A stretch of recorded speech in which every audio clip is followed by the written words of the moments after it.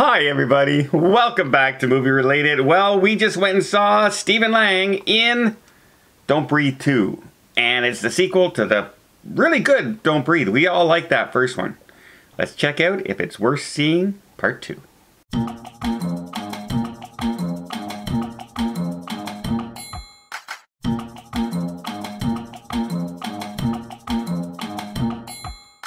All right, Don't Breathe 2. It takes same character, Same neighborhood. Stephen Lang is back. This time, it seems he has a daughter. Direct. I I, I was kind of curious about this one, and see. Okay, well, what else did these directors and writers do? Well, apparently, they did Don't Breathe. and, and that's about it. Uh, one of the writers also worked on The Girl in the Spider's Web, and other than that, it's been a couple TV shows.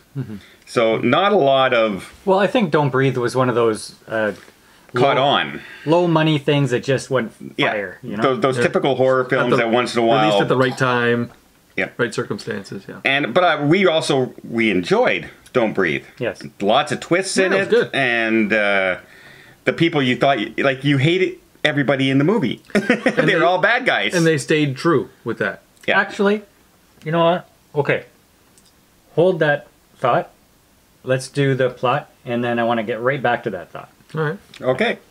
The plot in this one is Did you see the first one? Pretty much the same thing. except except this time Stephen Lang's character is protecting the young girl from the intruders. And the int- there is a twist. We were we let's not go into that whole part, but there's a reason the intruders are there and they're there for the little girl. A specific reason why they've chosen that house. Yeah. And there's a couple twists there. At first you think they want her for this reason and then oh, no they don't. And then "Hmm, yes they do. kind of thing. Back to your point. Go ahead. Okay, so you say, remember the first movie? It's the same plot. Actually, no, because in the first movie, you have thieving kids, and they go in and they're uh, assaulted by this man who overpowers them, Right. even though he's blind. And now you have thieving adults. But even though they're thieving kids and bad guys, they're kids. Mm-hmm. And you the girl's a thief, but you know she's doing it to protect her either daughter or little sister. The boy is along for it. He doesn't he does not want to do this job, but he has to for love. Okay. You actually feel something for these kids. sure. Now in this one, the intruders are complete scumbag bad guys. Yeah. And the guy we know from the first movie, uh, Stephen Lang's character, he's a complete scumbag bad guy. So I have no feelings for anybody. Except they try and make Stephen Lang's character not a scumbag. Actually, the only person that I was like, wow, I really, I like that character. I could get on. She's the first one to die. Is is the the driver? Yeah. Well, so now you're left rooting for this little girl, and you think, okay, well, Stephen Lang's character is kind of training her mm-hmm. to be a badass. to, Okay. to survive. Yeah. And so when these intruders come, you think we're gonna go nasty Home Alone on their Right. That's what I was thinking. Yeah. But no, she's eh, nothing. She doesn't do anything. She runs and she hides and she gets caught and They they needed to improve on that big time. Like she didn't do.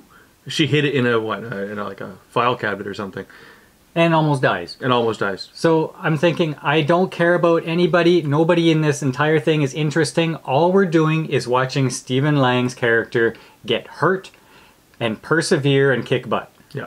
So it's like Rambo. Yeah. Yeah. This was not Don't Breathe 2. This But it was, was- a different movie with one same character. But it was like a a bad Rambo because he didn't do a lot of preparing. I mean, all of his preparing for like to hurt these guys was I'm gonna grab a can of gas. Like that's he did that what four times in the movie. Mm-hmm. Well, he's not. He doesn't suit up. he's not that kind of character. He's not suiting up to go to battle.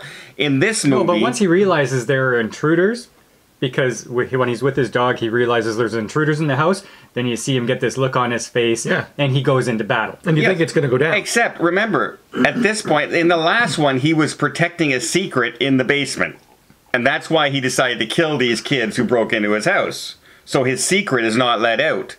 Because he's he was going a little psycho, right? In that situation. The turkey baster stuff and all that.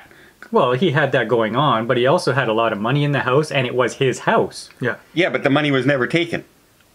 They tried to take it. Yeah, but he his his wasn't so much the money; it was the secret. Okay, he didn't want that to get out. That was the big twist and everything of the first Do you movie. wish he wasn't also stone faced in this movie? listen, listen. What I'm trying to say is, in this movie, he's trying to raise the girl and protect her just from the outside world. He's not.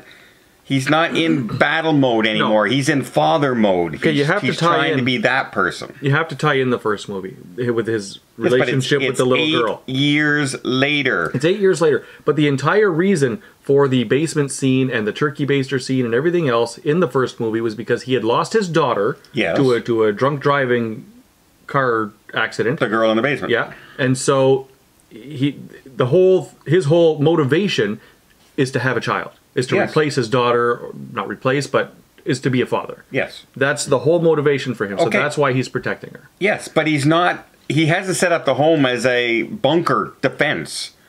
He's just set it up to. He, he's homeschooling her. He's letting her go to the town. He's doing. He's trying to be a father. He's not the evil, evil guy that. At least that's what they're trying to let us know. That's why I'm saying he he doesn't have 50 guns all over the place. He hasn't barbed wired the the house. He hasn't booby trapped anything. So when he goes to battle, it's just him and his hands, and that's all he has. yeah. Which we know is sufficient because of the first movie. Except mm-hmm. he's also eight years older. Yeah, and you can see it. Yeah, see it. he's a lot. He's not like he's not Stephen Lang from uh, Avatar in this movie. He's not the big, huge No, bulk no. guy. He's an older bulk guy who these guys are bigger than. That's the same guy? That's Stephen Yeah. Lang. He's the evil guy in Avatar. You didn't know that? No. That's what he's best known from. Okay. So, uh, yeah, it, like I was okay with it, but I mean, here's the trouble with this movie is, other than the little girl, there's really nobody in this movie to cheer for. Zero. Zero people other to cheer other for. other than the the woman who dies at the beginning. Yeah. Yeah. Well, and this and the dog. I Yeah. guess the dog. I enjoyed the dogs. Right. good good dog scenes. good acting from the dogs.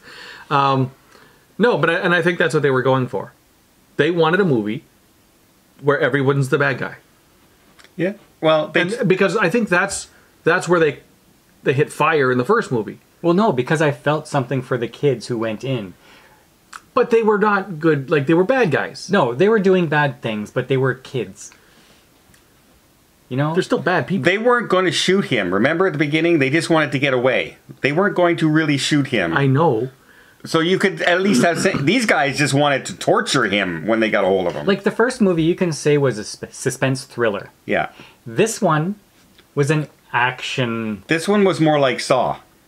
I don't know. I never saw any Saw. But I mean, it's, it's like the let's. It's like uh, let's show really graphic deaths, Yeah. like Yeah. shovels straight into the face a couple times, pushing eyeballs out, all that kind of stuff. That's what this movie turned into, and it it was nowhere near as they tried to make it suspenseful with the filling of the water. Well, they're, and, they're uh, trying to one up the first movie.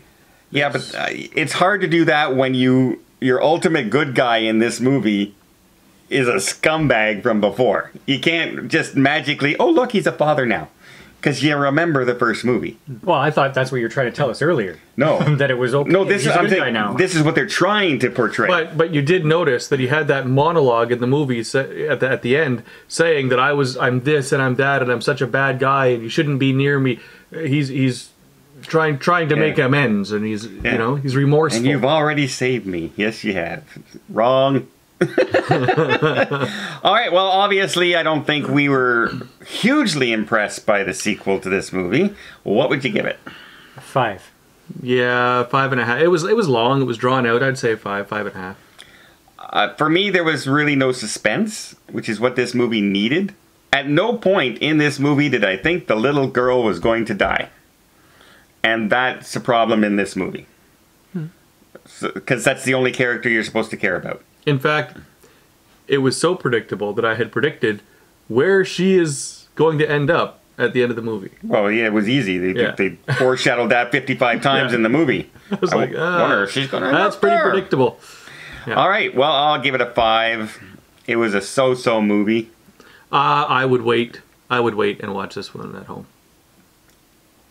And even then, if you miss it, don't worry about it. It's it, it's not a bad movie to watch. Like you would watch this before you watch Woman in the Window. And, Oh yeah, and, and those other streaming movies. This one was okay to watch at home. Don't pay for it extra, you know. Yeah.